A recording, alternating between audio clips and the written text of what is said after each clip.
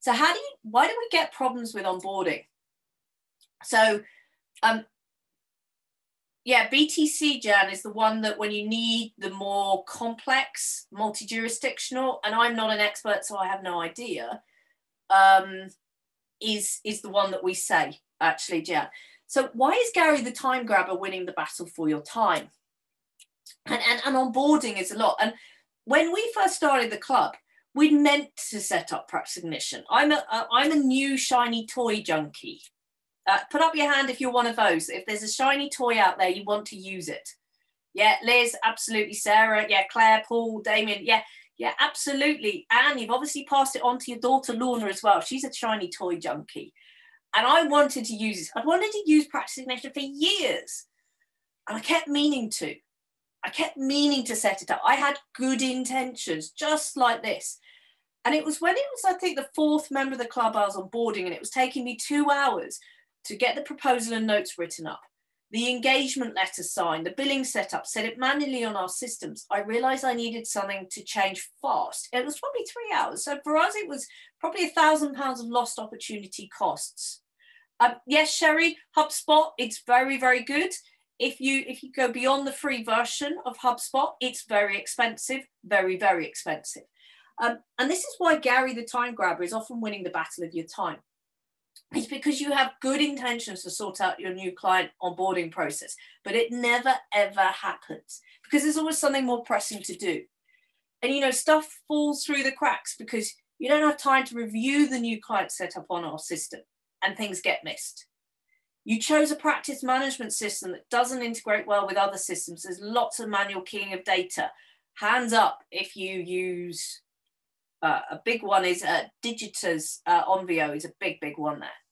And you can't see what you're doing because you cut corners with the number of users on your practice management system. If you've got five people in your practice, buy five licenses. Otherwise, you're already asking yourself for problems. And one of the big thing is maybe you don't introduce the team members who'd be working on a day-to-day basis with a new client quick enough into the client relationship. You know, sometimes we don't set good expectation because we're worried we're going to upset the client. And in fact, one of our members yesterday was like, I want to get rid of this client. They've asked for this extra work. So he quoted high. And the client came back and queried the cost and said, This feels really high. And he explained it a bit. And the, client says, But do I need that? And the client, and he said, Look, the price is the price. You don't want it, go elsewhere. Um, literally, go elsewhere.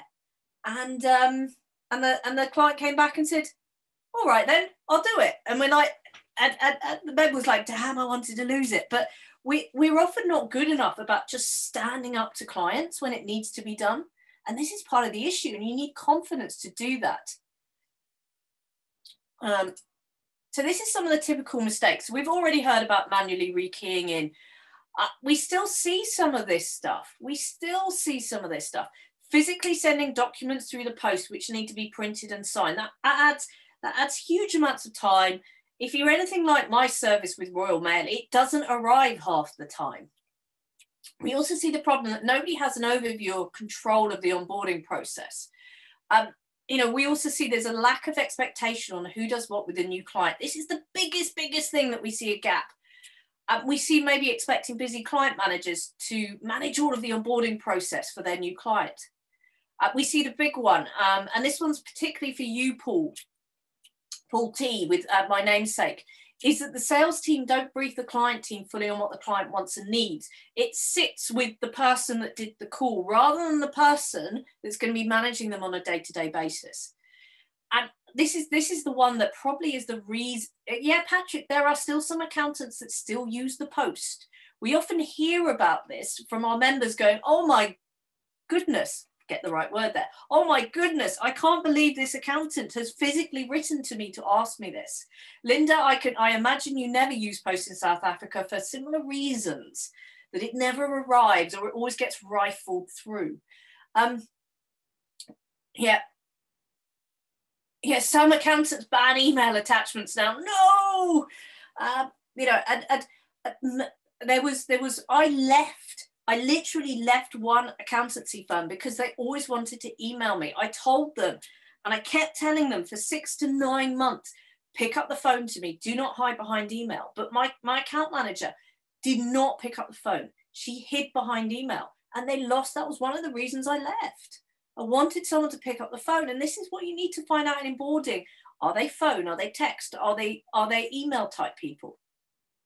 And actually, we've all realized that we a lot of us make this mistake because we were thinking of onboarding as the first one to two months, not the first three to six months. It's that key time to focus on wowing the new client, delivering on the promise you gave them in the sales conversation, and training them to work a certain way.